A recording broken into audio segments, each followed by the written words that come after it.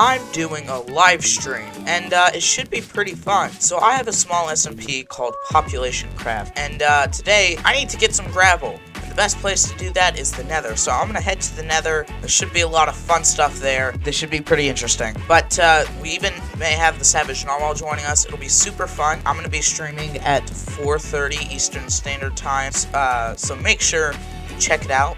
Link uh, right up there. Oh, oh, where was I? Anyway, yeah. So make sure you check out the stream.